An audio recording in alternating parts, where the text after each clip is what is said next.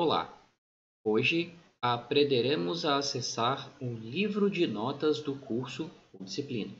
Para acessar o livro de notas, procure no menu à esquerda o link Notas e clique sobre ele.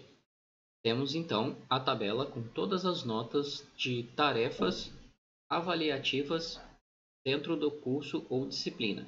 Podemos filtrar isolando a lista de usuários por grupo Também podemos isolar por nome.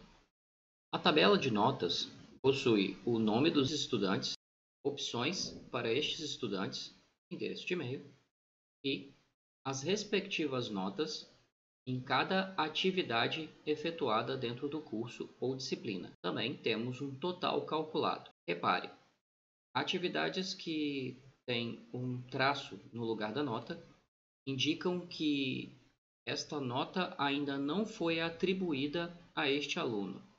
Com relação à nota total do curso, ela é calculada a partir das notas das atividades e o cálculo será visto em outros vídeos.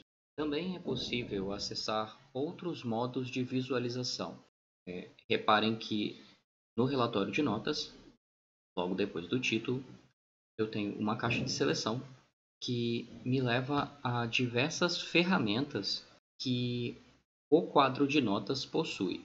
Algumas delas também podem ser acessadas na linha dos estudantes, como por exemplo, modo de visualização de notas para o aluno único e um modo de atribuição de notas para o estudante único. Para acessar o modo de notas para um aluno, clique sobre o ícone que se assemelha a uma tabela logo depois do nome do estudante. Aqui podemos ter uma visão focada apenas em um estudante. Para retornar, clique no botão retornar. Outra ferramenta importante é a ferramenta de exportação de notas. Logo após o título, relatório de notas, podemos encontrar uma caixa de seleção onde podemos alternar para o modo de exportação.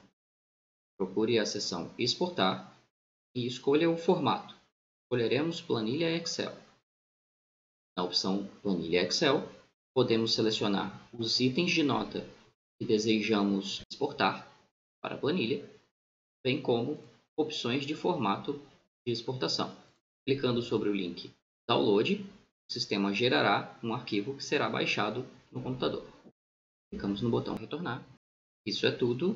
Até a próxima aula.